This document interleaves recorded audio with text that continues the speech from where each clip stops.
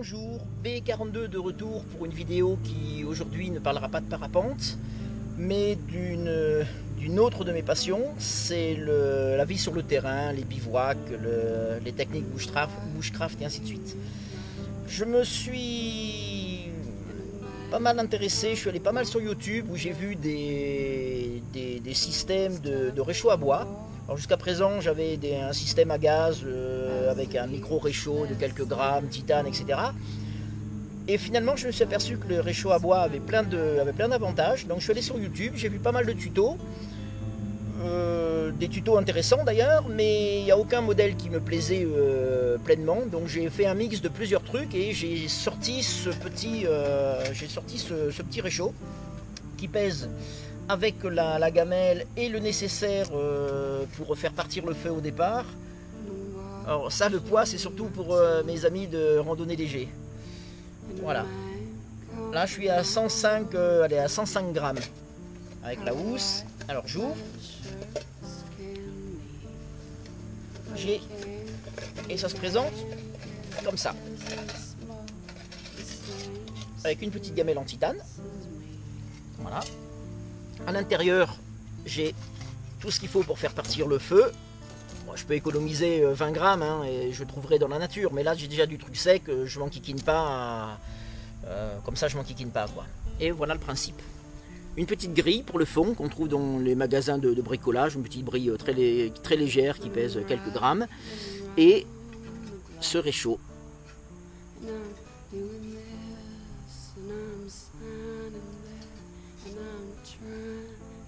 Voilà, donc je mets la grille au fond.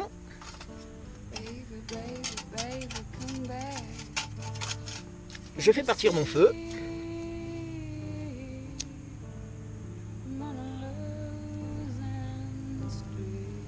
Avec un allume-feu en paille de bois, euh, j'ai trouvé que finalement c'est encore ce qu'il y a de, plus pratique. C'est hyper léger. Donc je fais partir mon truc.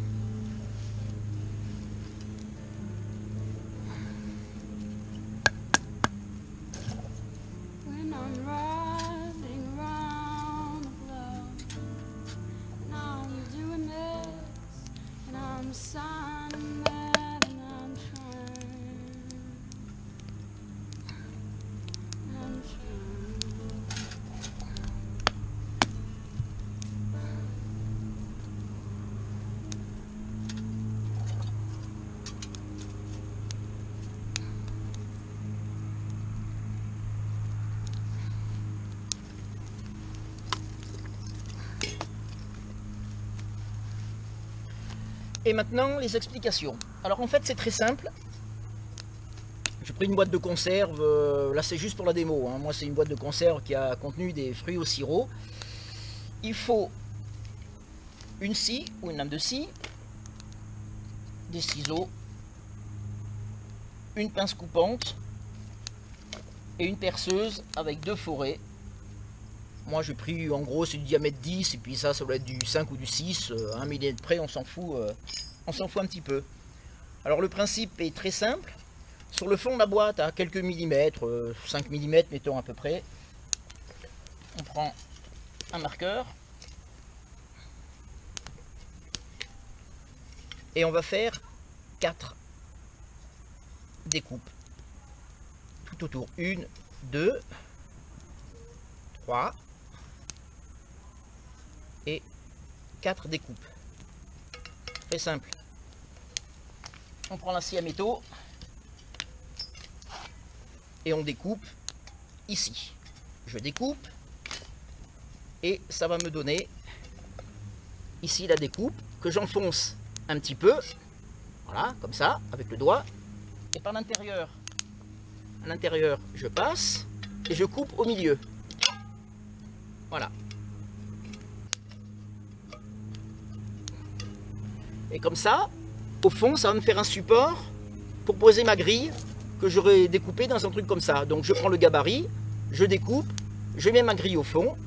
Ensuite, avec la perceuse,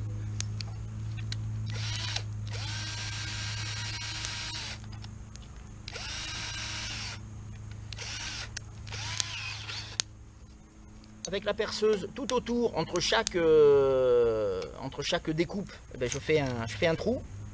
C'est pour améliorer. Alors je mets un martyr à l'intérieur pour éviter de faire du travail trop trop de cochon. Ça évite de trop trop défoncer. Et je fais quatre trous.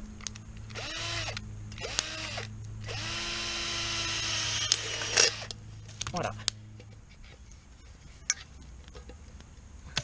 Voilà, quatre trous, trous tout, tout autour.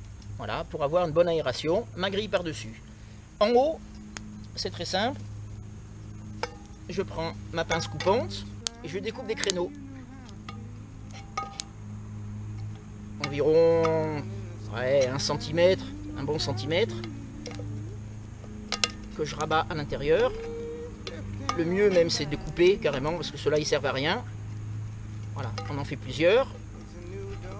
Tous les 5-6 cm à peu près. On fait des créneaux comme ça.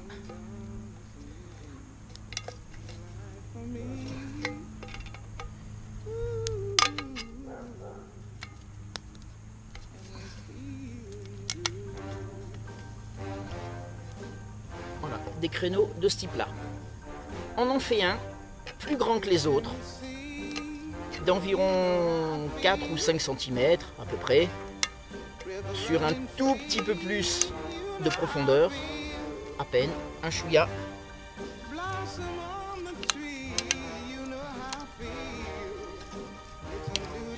Alors là, vous voyez, je fais vraiment du travail à l'arrache, à la va-vite, on peut s'appliquer un peu plus.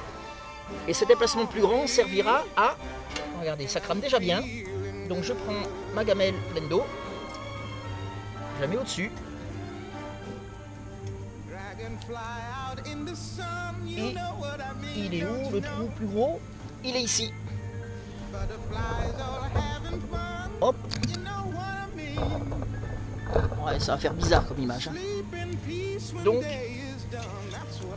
le trou plus gros sert à alimenter le foyer on peut mettre les, les branches directement à l'intérieur sans avoir besoin de, soulever euh, la gamelle avec des gants.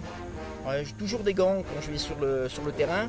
Ça évite de se couper quand on est avec le couteau, euh, déjà. Et pour ramasser les patates euh, ou les châtaignes qu'on a mis dans le feu, ou pour récupérer la gamelle, ainsi de suite, des petits gants en cuir qui coûtent 5 ou 6 euros. On n'a pas peur de les perdre, de les déchirer, ça va pas mal. Voilà, donc vous voyez que c'est quand même pas mal efficace.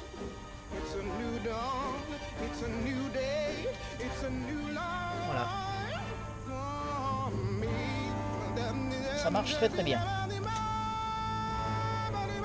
Pour très léger, le bois on en trouve partout. Et, et voilà. Et puis pareil, euh, si on le casse ou si on le perd, euh, ben, il suffit de bouffer une boîte de fruits au sirop et puis en 10 minutes on se, on se fait un petit réchaud qui est, qui ma foi pas mal du tout. Alors ça c'est ma première idée. Ma deuxième, voilà, c'est ce système. Alors imagine, ça c'est mon feu, je prends mon trépied, alors le trépied euh, je ne l'amène pas sur le terrain, je me trouve trois branches à peu près droites ça n'est pas trop difficile à trouver quand on est en, forêt. On le met au-dessus. Un petit bout de paracorde euh, ou de ficelle, de ficellou pour, euh, pour tenir le, total. Et le gros avantage, et puis ma petite euh, grille. Voilà. Alors, ma petite grille, en fait, c'est c'est ça. C'est une petite grille souple en silicone spéciale que j'ai acheté. J'ai acheté en plaque trouve ça sur internet ou dans les, dans les magasins. J'avais dû acheter à Carrefour euh, ou alors à Conforama, des trucs comme ça, euh, Conforama Casto, je veux dire. On en trouve, euh, on en trouve comme ça. c'est pas mal, c'est très léger. Il y a un inconvénient, c'est que ça n'aime pas les flammes. La chaleur, ça va pas mal. les flammes, ça crame quoi. Donc j'ai pris un bout de, un bout de fil de fer d'environ 70 cm au bout, c'est un domino qui me sert pour, euh, ben, pour pouvoir le fermer en forme de cercle. De, cercle. Et puis j'ai tricoté mon, fil de fer euh, à l'intérieur. Ensuite, j'ai récupéré euh, trois petits bouts de, fil de fer que j'ai attaché, un petit anneau, et voilà, et je, suspends ça. Alors j'ai fait plusieurs nœuds ici, de façon à pouvoir régler la hauteur, hauteur de la grille.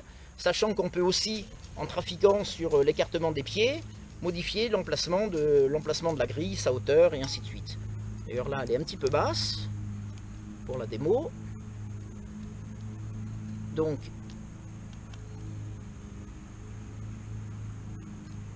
je vais le défaire. Alors je sais pas combien ça pèse, euh, je sais pas si la balance elle va être euh, assez précise pour ça.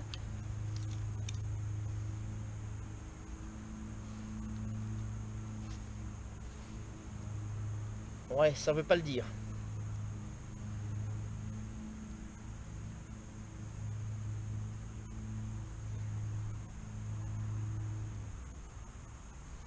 Ça veut pas le dire, mais allez, honnêtement, si ça pèse 30 ou 40 grammes, c'est vraiment le maximum, quoi. Donc, il y a mon petit crochet ici. Et mon petit crochet, ben, je vais le mettre un peu plus haut. Voilà. Tac. Et voilà. Et j'ai ma petite grille qui, ma foi, est pas mal parce que on peut mettre euh, ma gamelle qui a déjà pratiquement un litre d'eau dedans. Vous voyez, on peut largement mettre sa gamelle euh, au-dessus du feu. Euh, sachant que c'est pas tellement fait pour ça en fait, c'est pour pouvoir mettre des saucisses, deux cuisses de poulet, un poisson qu'on a pêché, on met ça dessus, voilà, impeccable, euh, le petit bout de ficelle on l'a partout, ça coûte pas très cher, vous voyez, moi je trouvais que c'était une idée qui était, une idée qui, était pas mal. Sachant que on peut le faire aussi si, on craint trop les flammes, dans une petite grille de ce, de ce type là, alors je pousse mon petit trépied. Alors euh, très simple, hein, il suffit de prendre, euh, de prendre un, gabarit. On prend le gabarit, on prend le stylo, on trace le rond. Miracle, le rond est fait. Ensuite on récupère, c'est un peu le bordel mon capitaine, on récupère un ciseau. On découpe la grille. je me retrouve avec ma petite grille.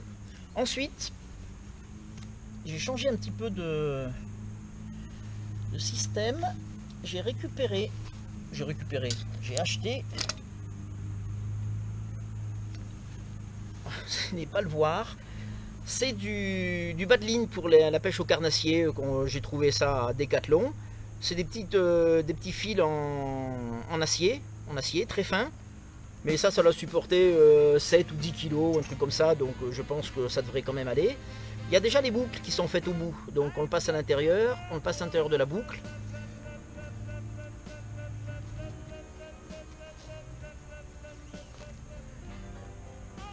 On fait tous les tiers.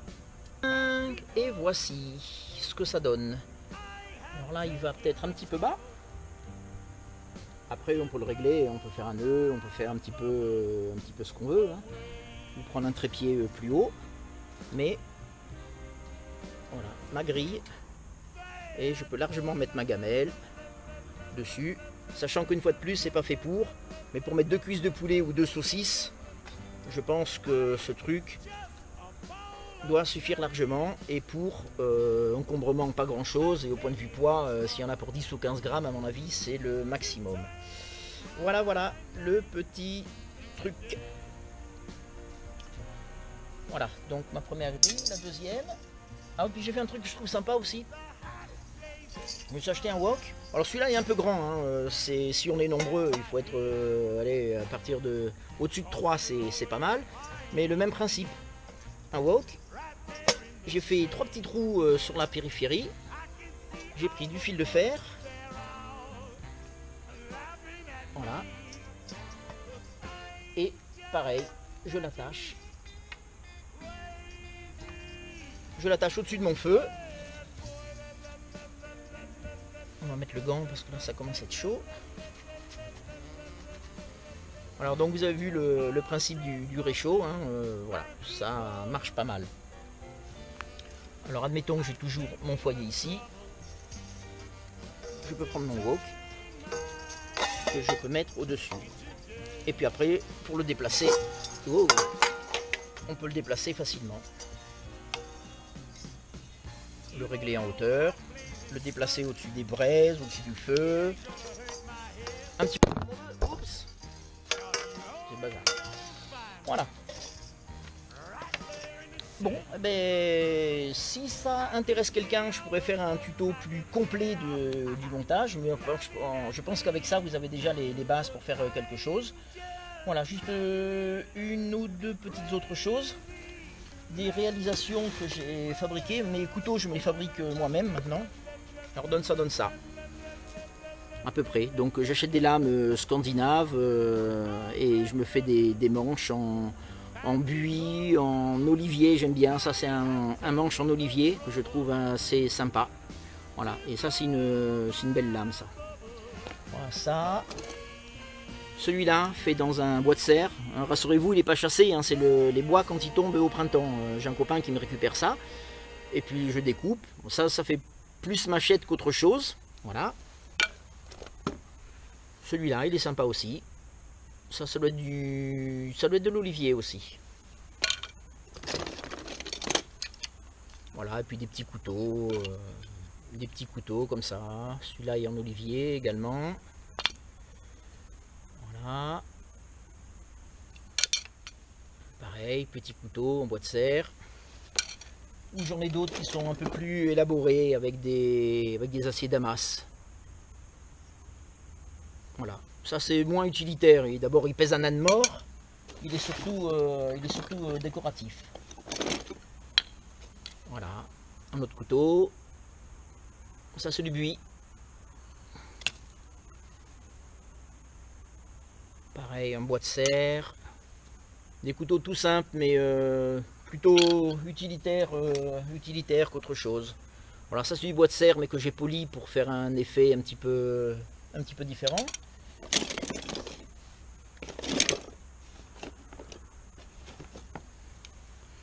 Voilà. Damas. Là, c'est des, lames comme ça, c'est à base de Mora, Mora Compagnon. Euh, J'achète les lames et puis après je fabrique, des, euh, je fabrique mes manches. Ça, c'est un, un acier damas. Voilà. Je les commercialise aussi, donc euh, s'il y en a qui sont intéressés, tout à fait au hasard. Voilà. Alors sinon, des... Ah ouais, ça c'était mon premier. C'était mon premier, celui-là je l'aime bien. C'est mon premier euh, Mora, euh, Mora Compagnon que j'ai dépecé pour garder la lame. Et je me suis fait un petit couteau euh, comme ça en buis. Voilà, celui-là je l'aime bien. C'est mon couteau, c'est le, couteau que j'utilise le plus. Voilà. Sinon, sur le terrain, j'utilise une, une lame scie, comme ça, une petite scie. La plandeur, qui est pas mal du tout. C'est vachement plus efficace que la hache, c'est beaucoup plus léger. Ou sinon, je m'en fabrique aussi avec une, une lame de, de, de scie, euh, de scie euh, je sais plus trop comment là, et avec un, avec un manche fait en bambou, et j'ai mis la paracorde autour. Ça peut toujours, euh, là je dois avoir 2 mètres de paracorde. Ça peut toujours servir, c'est assez efficace, c'est euh, assez léger. Voilà mon petit matériel. Bon, ben, si vous avez des questions, vous pouvez toujours me contacter par l'intermédiaire de, YouTube, hein, et je me ferai un plaisir de vous répondre. Salut